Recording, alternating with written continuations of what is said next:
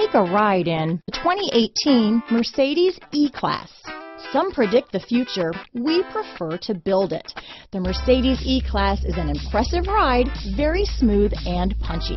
This vehicle has less than 30,000 miles. Here are some of this vehicle's great options.